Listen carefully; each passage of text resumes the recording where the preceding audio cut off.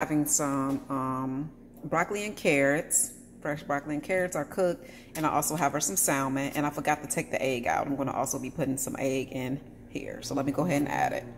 And she wanted to say hey. Say hey, Reign. Say hey. Guys, I just finished making Reign some food. I put in the food processor. This is broccoli, carrots, her Purina One, and some fresh baked salmon. When I say you guys, she loved this.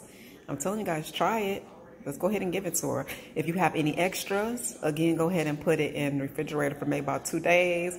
After the two days, I most definitely put it in the freezer because I always put her leftovers in the freezer. Don't want nobody getting sick.